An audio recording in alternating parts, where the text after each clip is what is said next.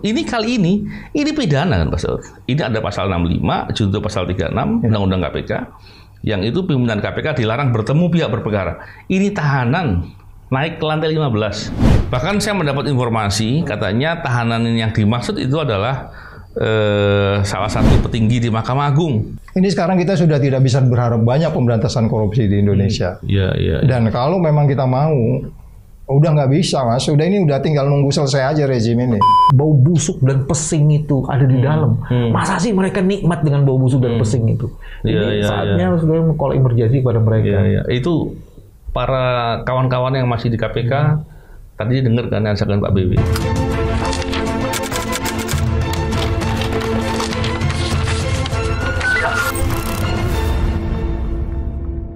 Eh, Alhamdulillah hari ini kembali berbincang di podcast.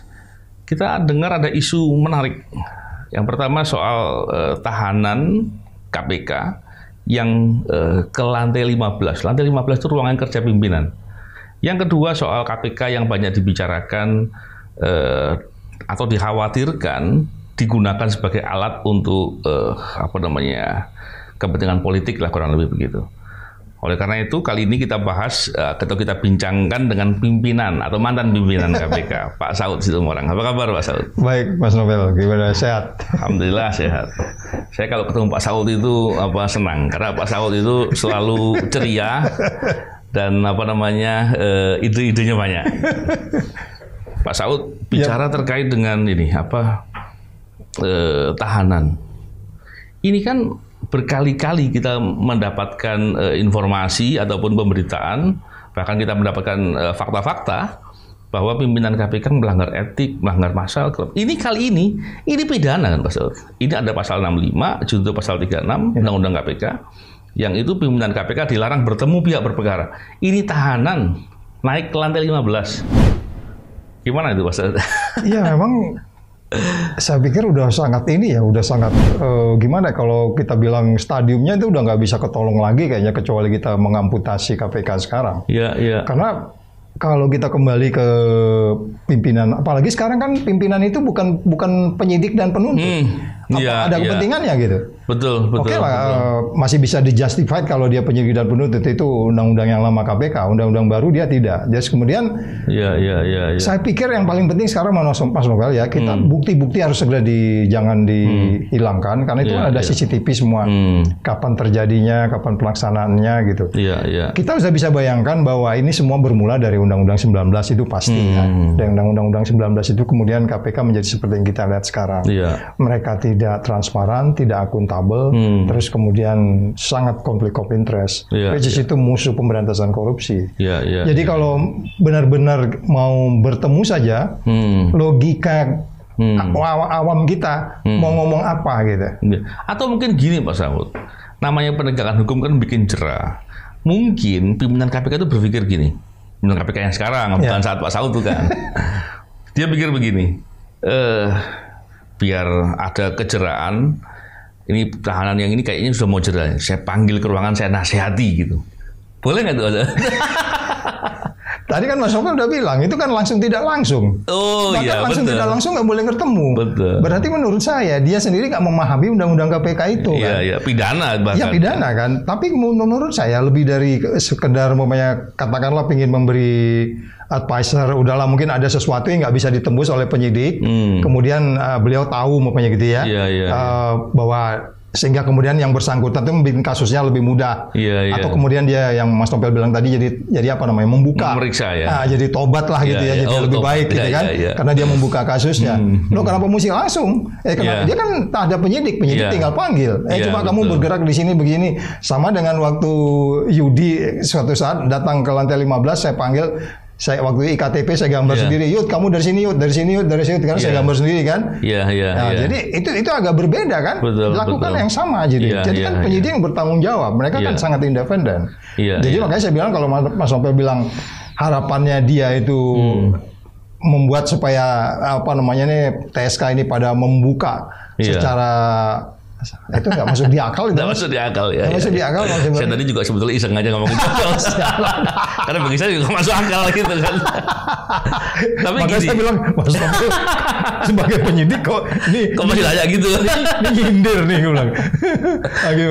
Tapi gini Pak Saud, memang kalau melihat eh, tadi yang apa namanya berita tadi yang saya baca di salah satu media online digambarkan bahwa eh, tahanan naik ke lantai 15. Setahu saya di gedung yang baru gedung merah putih itu ruang pemeriksaan cuma di lantai dua, tidak ada ruangan lain selain lantai dua.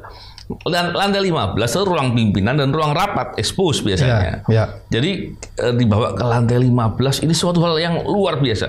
Bahkan saya tadinya nggak percaya ini berita betul apa tidak. Ternyata beberapa mengkonfirmasi itu benar berita itu. Dan eh, Dewan Pengawas katanya sedang melakukan pemeriksaan. Cuman yang saya nggak paham begini. Dewan Pengawas itu kan memeriksa terkait dengan etik. Ya.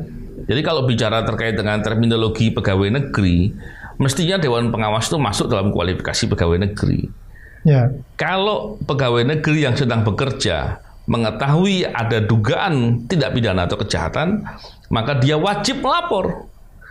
Harusnya Dewan Pengawas ketika mengetahui ada tidak pidana, termasuk ini kan bisa dibilang bukan tidak pidana korupsi, tapi tidak Ini kan pidana. deliknya bukan aduan nih sebenarnya. Ya, harusnya dia melapor gitu. Ya.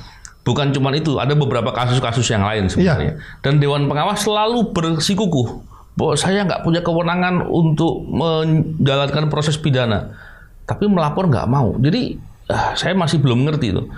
Pak Saud bisa nggak mengelaborasi tadi masalah pemeriksaannya dia sebagai masalah etik dan yang kedua kewajibannya dia melapor yang nggak dilaksanakan. Gimana pandangan Pak Saud? Kalau kita lihat dari beberapa case yang mereka tangani, kan Iya. semuanya itu banyak yang potensi pidana kemudian selesai begitu aja kan, Mas? Iya, Termasuk betul. yang kasus Pertamina dengan ibu yang kemarin Bu double Lili, ya. itu, itu juga begitu. Ya. Terus kemudian pembocoran rahasia yang kemarin itu Betul. di- segala macam alasan lah. Iya. Rekamannya sudah ada videonya, dia Iya, menyatakan iya. itu nggak ada kaitannya. Betul. Udah jelas ada nyebut nama app di situ kan Iya, gitu kan. iya, iya, Jadi iya. menurut saya kita nggak nggak bisa berharap eh, banyak sekarang dengan kondisi yang ada ini di iya, Dewas iya. untuk bisa menyelesaikan ini Iya, karena iya. mereka tidak tidak bisa untuk menentukan lagi mana yang sebenarnya berada di kompetensi dia. Hmm. Katakanlah kalau ini memang benar kasusnya adalah menyangkut etik gitu ya. Iya, Ah, iya. Etiknya sudah jelas lah itu. Iya. Itu saja mereka nggak bisa memahami itu. Iya, Jadi iya. saya pikir ini akan terjadi hal yang sama, Iya. bahasanya sama, Hmm. tidak bisa dibuktikan Iya. karena kebetulan ke atas itu mau penyelu- menyemu penyidik kemungkinan kesasar ke lantai 15 segala macam. segala macam Jauh banget ya, segala macam 15. kebenaran bisa Iya, iya, bisa iya, di iya. ini. Padahal sebenarnya kan kalau common sense kita seorang tahanan itu kan pasti akan didampingin kan. Hmm. Iya, dikawal, dijaga, ya, ya. nggak mungkin kalau tidak kawal justru SOP-nya kita tanda tanya. Iya, iya, Tidak iya. tanda tanya. Makanya saya bilang ini makin menarik untuk didalami. Iya, iya. Menit ide dari awal idenya dia sampai ke atas dan ke atas ketemu siapa, Iya. terus kemudian ke bawah, terus substansinya ketemu bagaimana dan kolektif kolegialnya ini kan harus terjadi Iya, nih. betul, betul. Nggak mungkin kan saya mau ketemu ini atau mungkin nih seorang pimpinan mengambil kebijakan sendiri. Iya, iya, iya. Itu Orang jadi kita- masalah lagi ya. Iya, zaman dulu kita mau ke mana aja permisi dulu. Iya, ya kan iya, saya iya. acara ke sana ya, memberitahu terhadap yang lain. Apalagi kasus kayak beginian, Mas. Jadi saya pikir menarik untuk didalami lebih lanjut Iya, sebenarnya. iya.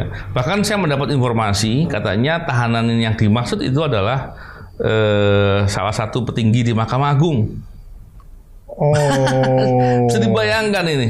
Jadi apa ya se- seserius itu gitu loh. Jadi saya melihatnya ketika eh, melihat dari eh, tahanan tadi tersangka tadi yang ditahan ini adalah petinggi dari eh, Mahkamah Agung dan kemudian dia bicara secara personal begitu yang itu apa namanya eh ya biasanya kalau bicara di ruang pemeriksaan gitu kan ada CCTV-nya, Iya, iya. ada rekamannya. Tapi kalau bicara seperti itu kan jelas itu bicara yang tidak di, ke- tidak ada keinginan untuk diketahui orang lah kurang Sekarang lebih. gini aja, Mas Nobel kebayang nggak? Untuk apa orang itu dipanggil ke atas? Hmm, hmm, hmm. Ya kan? Eh Mas, Pak Bibi, Oke, apa kabar?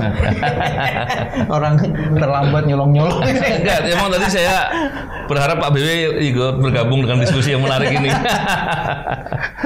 Iya kan? Oke, oke, oke. Benar nggak? Kalau kita tanya untuk apa dipanggil, Iya, keperluannya iya. apa? Hmm. Sementara penyidik sudah sudah jelas ini kan tinggal bahasa Ya, ya, ya. sederhananya kan sebenarnya udah P21 nih. Betul, betul. Iya kan mau apa Hmm, lagi gitu loh.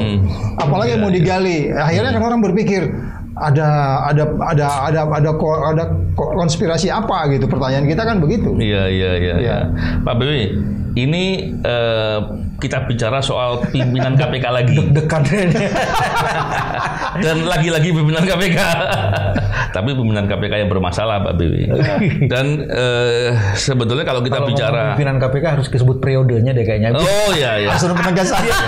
Supaya lokusnya jelas gitu. Betul, betul, betul. Periode periodenya nggak jelas Pak. Soalnya kan apakah 2023 atau 2024 nggak jelas ya jadinya kan. Panjang. Periode 2015 dua, eh, 2019 2023 2023. extended satu tahun. Masih tahun. pakai kata-kata gitu juga, Mas. Iya iya iya iya. Jadi pimpinan KPK yang sekarang ini lah Pak BW, yang periode 2019 2023, ini masalahnya banyak sekali. Masalahnya itu adalah dewan pengawas yang sebagai pengawal atau penjaga etik selama ini terkesan atau paling tidak saya menggambarkan bahwa membela pimpinan lah gitu. Dan akibatnya semakin lama pelanggaran etiknya semakin terang-terangan, semakin Kualitasnya kasar. makin naik, Iya. kualitas pelanggarannya Kualitas makin pelanggarannya naik. semakin Iya, naik. gitu, Mas. Iya, betul. Kualitas pelanggarannya semakin naik. Ya. Ya. Dan kalau melihat seperti itu Pak Bewi, belum lagi ternyata Dewan Pengawas yang mengetahui adanya dugaan kejahatan kan wajib melapor. Ya. Selama ini juga bersikukuh tidak pernah mau melapor. Gimana catatan Pak Bewi soal itu? Apa yang bisa kita lakukan terhadap Dewan Pengawas ini yang yang kemudian eh, prestasinya juga membuat pimpinan KPK berprestasi membuat kualitas pelanggarannya semakin parah. Sejak Undang-Undang 19 2019, Iya. pimpinan KPK bukan lagi penyidik dan penuntut umum. Iya, iya. Tadi Tadi Pak Saud tadi. Menarik Ya. itu. Itu satu udah jelas sehingga kalau kemudian itu sampai dibawa ke atas, kemudian persoalannya untuk kepentingan apa? Iya, Yes. iya, iya. Terus kedua, Barangkali mau nasihatin nanti. Kalau nggak mau tobat gitu kan. nah kalau memang begitu, itu cakupan kewenangan itu tidak ada di Oh enggak ada. betul, betul. Terus bagian yang kedua yang eh, juga menarik untuk apa di, disoroti itu ini ini kan di KPK banyak CCTV. Iya. Ya. Ini soal kenekatan gitu loh, Mas. Iya, saya saya iya. mau, mau mau lihat soalnya. Iya. Ini nekat sekali gitu. Yes. Apa nggak ada cara yang lebih sophisticated gitu sampai iya, iya. ter- murahan dan Iya. Karena mungkin mereka udah beranggap semua bisa diatur, Ya, Mas. Nah. Jadi kalau- bisa diatur, bisa di- bisa dihapus hal yang yang sekotor itu karena menganggap semuanya bisa dikuasai. Yes, yes. Dan itu salah besar gitu kalau Iya. kita lakukan. Karena tidak semua orang di KPK punya perilaku buruk se- se- seperti itu. Iya, iya. Ya buktinya kita tahu informasi ini Nah, kan. Iya. akhirnya kan informasinya terbuka ini. Iya. Itu bagian yang kedua. Nah, bagian yang ketiga, kalau melihat jenis kasusnya itu kan menjadi menarik. Hmm. Hmm. Selama ini ada informasi, ada hengki-pengki nih di dalam proses ini. Hmm. Kan yang tadi Mas Novel bilang dari Mahkamah Agung kan itu Iya. ada hengki-pengki kan di situ. Iya, tuh. iya, iya. Eh, da- Jadi kemudian ini semakin mempertebal ya Iya. apa namanya kecurigaan masyarakat ini hengki-pengki ini benar-benar terjadi. Iya, iya, iya. Ya kan? Kacau betul. Apalagi ada kasus eh, hakim agung yang Hmm. eh, bebas ya. Oh iya, iya. Betul, betul. Nah, apakah ini bagian dari proses itu gitu kan? Hmm. Itu jadi mengerikan sekali sebenarnya. Iya, Tapi iya, iya. apa pun yang terjadi, Ya, Apa pun yang didiskusikan, pimpinan KPK Ya. telah merusak kehormatan KPK. ya. Hmm. Itu poin utamanya di situ. Nah, Ya. sekarang pertanyaannya itu pimpinan sekarang dewan eh, apa namanya pengawas. Pengawas. Saya nggak ngerti fungsi dewan pengawas itu sebenarnya apa. Mengawal pimpinan KPK. Nah, berarti kalau kalau mengawal kurang melindungi. Melindungi. Nggak bisa mengawal bekerja baik maksudnya Artinya kalau kalau dia punya fungsi tidak sesuai dengan apa yang dilakukan, untuk apa? Apa Ya, gunanya ya. dewan pengawas itu? Kan pertanyaannya itu. Betul. Dan yang lebih mengerikan lagi di dalam dewan pengawas itu ada orang-orang yang sekarang yang yang yang kita merasa mereka orang terhormat. Betul, betul. Apakah mereka sedang tidak sedang berjudi dengan kehormatannya itu? Hmm. Dan itu agak mengerikan sekali sebenarnya kalau gitu. Yang poin kelimanya saya mau bilang pasal 20 tuh Mas, 20 pada 21. Iya, iya. Pimpinan KPK atau KPK harus bertanggung jawab kepada publik. Hmm. Menarik. Nah, kalau dia bertanggung kepada publik, ini uh, harus dibuka. Iya. Ini skandal besar, loh. Ini skandal Oh besar. iya, oh iya besar Pak. Ini bukan Besar, kasus besar. sekedar kasus, saya Iya. setuju. Iya. Kalau perlu tambahin sa- satu lagi di atasnya, mega skandal atau Mega tambah mega skandal, mega akbar skandal. Karena kalau di Undang-Undang KPK itu yang jelas ada sanksi pidananya kan Iya. jelas disebut pidananya itu kan berarti sangat Iya. krusial untuk Ini kemudian- bertemu dengan pihak berperkara, bukan sekedar bertemu pihak berperkara. Kayak- Pihak berperkara yang ditahan KPK di gedung KPK. Ya. Coba. Dan saya berpikiran jangan-jangan ini bukan yang pertama, Mas. Ya, aduh. Lanjutan. Iya kan? Biasanya kan cenderungannya gitu. Iya, iya, iya. Apalagi kasus ini kan memang lagi lagi belum belum selesai nih mas kasus Hmm. soal kaitannya dengan Mahkamah Agung kan belum selesai. Saya khawatirnya begini, Pak Bibi. Eh, yang pertama tadi eh, kasus masalah dugaan adanya permainan perkara di dalam KPK itu kan eh, banyak diindikasikan. Saya bukan sekedar mengindikasikan, bahkan saya pernah menangkap atau eh, mengetahui bukti dan saya melapor terhadap kasus Robin penyidik dan itu waktu itu masih banyak pihak lain yang terlibat tapi belum diusut. Hmm. Begitu juga dengan kasus tadi yang disampaikan oleh Pak Saud, Bu Lili. Yang Bu Lili itu sebetulnya yang diduga dapat gratifikasi dari salah satu BUMN yang sedang ada di proses penyelidikan. Hmm. Itu juga nggak sendiri, diduga ada pihak-pihak lain tapi nggak diproses. Artinya eh, masalahnya itu banyak gitu, sehingga kemudian terjadi terjadi terjadi dan terus seperti ini. Jadi Dewan Pengawas ini benar-benar eh, karena eh, apa ya ketidaksungguh-sungguhannya untuk memeriksa suatu perkara berkontribusi membuat perilaku ini banyak terjadi atau terus-menerus terjadi. Orang semakin berani. Terus apa yang kita bisa harapkan atau bisa kita lakukan untuk mengingatkan Dewan Pengawas atau kalau mengingatkan saya pernah dengar Pak Saud dan Pak BW ketemu langsung memberitahu ke Dewan Pengawas. Kalau kalau mas kalau menurut saya pertemuan itu bukan delik aduan karena itu Iya. kejahatan kan. Betul. Iya. Artinya betul. yang melaporkan itu tidak harus Dewan Pengawas mas. Iya, iya, iya. Siapa pun warga negara Indonesia bisa melaporkan itu ya. Iya, iya. Apalagi ini sudah terbuka. Iya. Jadi artinya ini tinggal me- mendorong berbagai teman aktivis anti korupsi untuk melaporkan hal ini. Ja- Nggak Iya, perlu ada dewan pengawas lagi. Ya, masalahnya kan gini Pak, yang akses atas bukti-bukti semuanya ada di KPK. Ya. Dewan pengawas bisa melakukan akses-akses itu semua karena dia sedang meriksa etik, artinya dia sudah dapatkan banyak keterangan, dia sudah dapatkan bukti-bukti dan lain-lain. Dewan pengawasnya bisa dipanggil kan. Oh iya, harusnya dia yang harus jelasin ya. Menarik Dewan pengawasnya itu. bisa dipanggil kan. Iya, iya. Bisa dalam konteks saksi itu, kesaksian dia Betul. bisa panggil walaupun kesaksiannya di auditu, tapi kan dia lembaga resmi yang melakukan itu kan. Betul, berarti ide dari Pak BW tadi menarik tuh. Ayo, banyak pihak laporkan. Karena Dewan Pengawas selama ini belum pernah mau melaporkan. Ayo kita laporkan. Kita saya pertimbangkan juga nanti ikut melaporkan terkait dengan hal ini. Menarik sekali. Tapi gini, eh, Pak Saud dan Pak BW. Eh, bicara terkait dengan KPK, hari ini kita sedang masuk area eh, waktu di mana kontestasi politik sedang berjalan. Dan kita semua khawatir lembaga KPK atau isu eh, pemberantasan korupsi digunakan untuk alat politik, untuk memukul, untuk memanggil atau kemudian dengan dipanggil itu kemudian terbentuk framing seolah-olah ini ada kasus korupsinya gitu. Hmm. Dengan situasi pimpinan KPK bermasalah atau bahkan pelanggaran-pelanggaran banyak terjadi dan tidak diusut tuntas. Siapa yang kita bisa harapkan nih Pak Saud? Ya, nggak ada yang bisa diharapin lagi. Kalau saya bilang kan tunggu Anies jadi presiden. saya di banyak tempat nggak malu-malu ngomong begitu kok di Iya, TV iya, di iya. mana. Ini udah bobrok mas negara ini. Iya, iya, iya. Apa yang bisa diharapin? Ini sekarang pemberantasan korupsi di negara ini nggak punya kepemimpinan, Hmm. tidak punya leadingnya, dipegang oleh siapa gitu. Hmm. Nah, ini kan tercermin semua dari Iya. perilaku-perilaku mereka. Karena memang Mhm. ketika dia bagian dari pemerintah, kemudian tidak ada suatu kontrol yang kuat. Iya, itu artinya apa? Dia kan sudah bagian daripada konspirasi itu gitu loh. Kalau Iya, pakai iya. bahasa konspirasi, Kacau, ya kan? betul. Jadi Iya, iya. kalau kita katakan kemarin kan saya debat juga di TV dengan ada kebetulan dari Komisi 3 ya. Hmm. Dari Komisi 3 juga saya bilang nih kalau Anies jadi presiden balikin tuh undang-undang KPK saya bilang gitu. Iya, ada, iya. ada dua fraksi kebetulan di situ dari Komisi 3. Jadi Iya. mereka juga mengatakan ya memang mereka menyadari kalau memang pun ada pemeriksaan-pemeriksaan nuansa politik itu dilakukan tidak berimbang. Hmm. Jangan Caimin aja dong periksa, periksa dong dua calon yang lain. Hmm. Mereka bilang Iya, begitu. iya, Hari ini iya. juga di Metro TV juga diskusi tentang itu. Hmm. Jadi maksud saya gini loh. Ini sekarang kita sudah tidak bisa berharap banyak pemberantasan korupsi di Indonesia. Iya, iya. Dan kalau memang kita mau udah nggak bisa mas, udah ini udah tinggal nunggu selesai aja rezim ini. Hmm. Kalau saya bilang sih begitu. Iya, Atau iya, kalau senior Mas BW punya pandangan lain, boleh saja nggak sependapat dengan saya gitu loh. Ya Iya menarik kan? itu ya Bang. Pak BW gini Pak BW. Kalau kita lihat sekarang ini, tentunya kan eh, calon presiden dan calon eh, bakal calon presiden dan bakal calon wakil presiden masih ada beberapa yang masih belum firm, belum fix lah siapa yang ditentukan. Dan eh, saya mendengar ada cerita-cerita tentang eh, ada beberapa tokoh yang ya apa ya apakah katanya diancam atau ditakut-takuti dengan suatu kasus-kasus pemeriksaan di KPK. Artinya fenomena itu sebenarnya banyak dibicarakan kok. Hmm.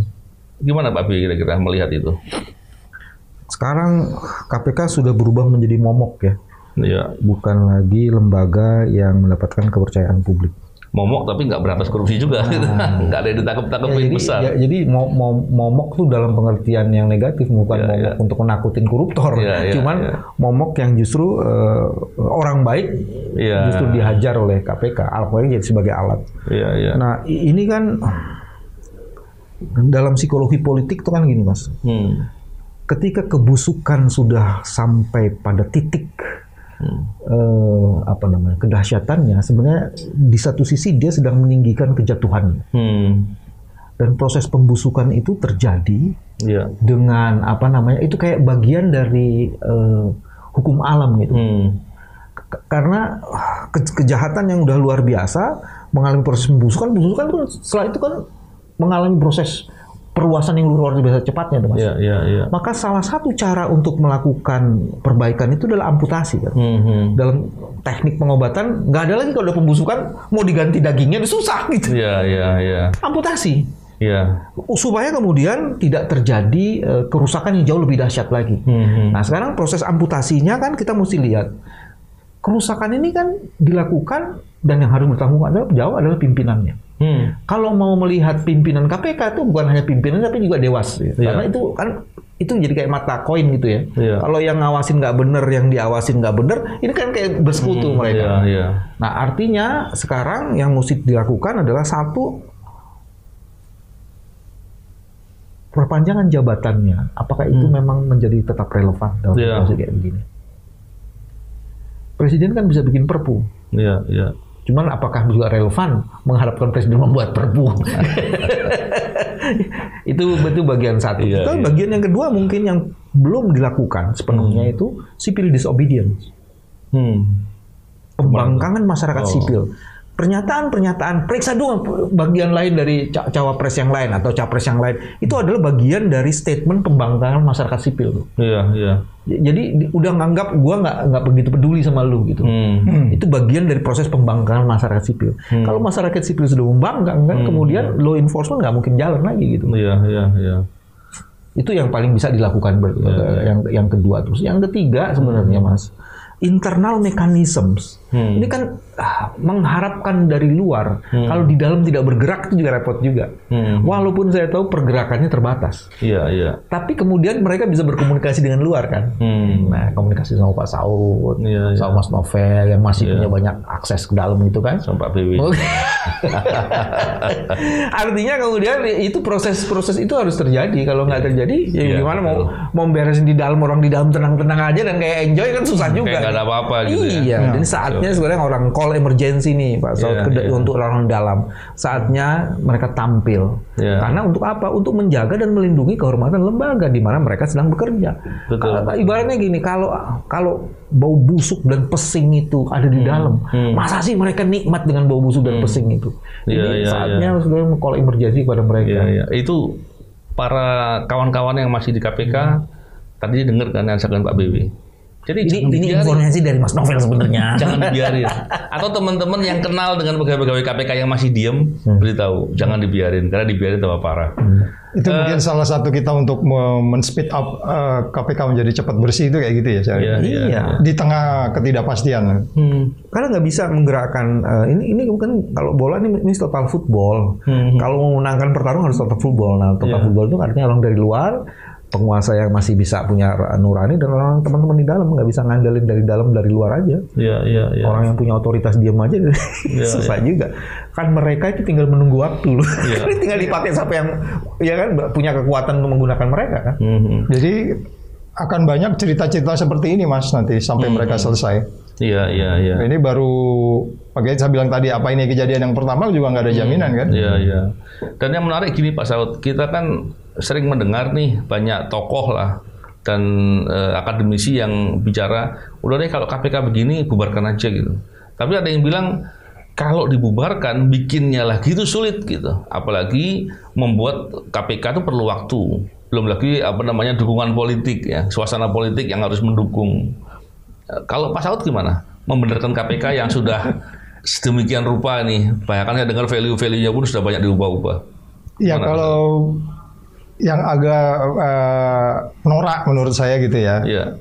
Orang kadang-kadang kalau nggak bermanfaat buat dirinya dia bilang suruh bubarin gitu. Hmm, hmm, hmm. Kalau dia bisa ngatur-ngatur, jangan dibubarin, lanjutin gitu loh. iya, iya. Itu kan itu udah nggak usah malu-malu lah kita mengatakan begitu. Iya, Orang yang iya, selalu iya. nggak yang sebel sama KPK itu kan kecenderungannya dua, karena memang dia kinerjanya bagus Iya. sesuai dengan undang-undangnya, atau memang kinerjanya sesuai dengan keinginan dia. Hmm. Apa yang terjadi di balik penggantian Undang-Undang 19 yang katanya di kita abuse, melanggar Hmm. ini banyak kasus yang nggak pernah diselesaikan Hmm. dan seterusnya dan seterusnya itu kan pembenaran-pembenaran yang menurut saya karena ada orang yang terkait dengan konflik of interest di situ kan Hmm. Iya, ini iya, kan isu besar di KPK konflik Iya. Hmm. of interest itu datang dari banyak tempat mulai dari politisi mulai dari penegak hukum lainnya dan seterusnya Iya, jadi iya. kalau pertanyaannya pembubaran saya pikir itu nggak usah ditanggepin mas capek kita nanggepin nanggep gini udah Iya, jelas iya, dalam undang-undang apa apa namanya dalam UNCSI itu udah jelas harus ada badan satu yang independen yang Iya. Betul, yang tidak boleh ada apa namanya seperti yang sekarang gitu kan Iya, bahwa iya. harus ada satu badan yang independen dan itu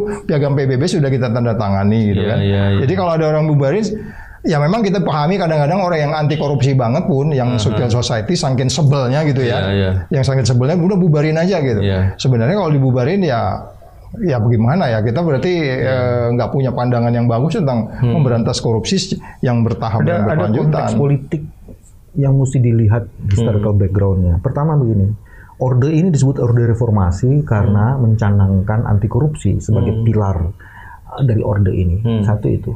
Tapi begitu kemudian dicanangkan dan performance dari lembaga anti korupsi ini mon- moncer, bagus. Ya. Ada orang yang tidak setuju kan, Mas? Hmm. Ada orang yang kemudian mengganggu. Iya, iya. Nah, Ya. semua yang hari ini hadir Hmm. itu dipastikan bukan dari KPK sendiri. Hmm. Tapi ada kekuatan yang bekerja Hmm. yang ingin menghancurkan KPK gitu loh mas. Iya, iya. Ya kan? Ini kalau tesis ini kemudian dilanjutkan, Hmm. kalau kita kemudian ingin menghancurkan KPK, artinya jebakan Hmm. yang memang disengaja untuk menghancurkan kredibilitas KPK itu terjadi. Iya, iya. Ya kita masuk dalam jebakan itu. Nah pertanyaannya kita mau masuk nggak dalam jebakan itu? ya Sa- Satu itu ya. Terus Hmm. kedua kita potret nih. Yang bermasalah di KPK itu apa sebenarnya? ya Kalau menurut saya levelnya tuh level pimpinan. Iya. Rata-rata pimpinan kok yang berbuat Ya kan? masalah. Ya. Karena begitu dulu ketika pimpinannya oke-oke aja aman tuh KPK tuh. Iya, betul. Dan ini yang diselundupkan gitu loh. Hmm, hmm, hmm. Jadi artinya kalau toh mau mau uh, benar-benar membangun gerakan anti korupsi, Iya. couple down-nya itu ya di pimpinnya itu. Hmm, hmm. I- ini ya itu yang tadi saya bilang amputasi itu sebenarnya ya Iya, amputasi itu kan bukan terus dikasih dibunuh dia tapi kemudian Hmm, dalam eh, organ tertentunya itu yang dihabisin gitu loh. Betul, betul. Dan memperbaiki dengan value yang sudah banyak dirubah, itu kan Iya. bukan bukan mudah juga Pak Saud. Oh iya, mengembalikannya aja susah. Mungkin Iya. eh, kalau kita bicara teman-teman yang 57 ya, balik lagi gitu ya suatu Iya. saat gitu ya. Mungkin bagi bagi kita agak-agak berharap banyak. Eh, tapi dengan rekrutmen baru sekarang ini kan itu udah value-nya beda banget, Mas. Iya, iya. Mereka membawa nilai yang di luar, bukan mereka larut dengan nilai KPK yang sangat independen dan kemudian eh, egaliter dan seterusnya gitu kan. Ya, sebenarnya kalau kemarin ini egaliter ya, Iya. ini, ini nanti kita lihat nih Mas, ini kejadiannya kapan nih dia masuk ke ruangan itu? Hmm. Kalau ini egaliter, nggak nyampe seminggu itu pasti keluar. Iya, iya. Berita itu pasti keluar karena penjaga penjaga tahanan di bawah pasti ngomong kan ke mana-mana. iya. Eh itu kok diterima pimpinan gitu. Tapi kalau kejadian ini sampai dua bulan tiga bulan kejadiannya, Hmm. udah memang udah kita bisa bayangkan check and balance-nya di dalam nggak ada, egalitarian tuh nggak ada sama sekali. Iya, Karena iya. bagaimanapun kan nggak mungkin dia telepon langsung nih. Hmm. Bahasanya sederhananya kalau saya pimpinan nih mau ketemu sama yang lagi tahanan di sana, dia paling nggak panggil penyidik kan? Hmm. nggak mungkin langsung kan panggil penyidik eh iya. gue mau ketemu dia tuh ada apa pak tanya saya aja ah kamu diam aja saya mau ketemu dia gitu kan gitu kan berarti kan ada dialog Hmm. Iya, nah egalitariannya kalau benar egalitarian si penyidik kan harus ngomong Iya. dia harus lapor dewas kan Iya, iya. pak ini nggak boleh pak ini pidana pak Hmm, apa apa udah seperti itu kita nggak tahu Hmm, nah jadi maksud saya ini banyak nih detail-detail yang harus kita dalamin mas Hmm, hmm. Se- seperti apa itu kemudian baru nanti ketahuan mens reanya Iya, iya. dari kronologis kejadian itu bisa ketahui gitu. Jadi iya. sekali lagi pertanyaan Mas Nopel kalau kita lihat kondisinya sekarang masih seperti ini ya. Saya pikir kita tinggal nunggu lagi kejadian-kejadian lain. Iya. sama dengan waktu kemarin pembocoran rahasia yang di SDM itu Iya. saya bilang ini tinggal nunggu lagi pasti akan ada yang lain. Benar ternyata ada lagi. Iya, iya, menarik sekali ini. Dan kita lihat eh, dalam beberapa waktu ke depan, apakah dari internal KPK ada yang kemudian melaporkan dengan sungguh-sungguh untuk terkait dengan perbuatan pidana ini, baik Dewas maupun dari internal KPK, karena itu bagian dari wujud eh, apa namanya eh, di KPK masih banyak orang baik. Saya kira itu. Terima kasih Pak Saud, ya ya ya Eh, Pak Bibi. Oh, dengar Pak Saud gitu semangat terus nih. Oh iya, betul Pak. Pak Saud selalu semangat, keren Pak. saya diinspirasi oleh saya diinspirasi oleh beliau juga kan senior pasti pun pasti menginspirasi junior itu pasti dong Baik, terima kasih. Salam integritas. Assalamualaikum warahmatullahi wabarakatuh.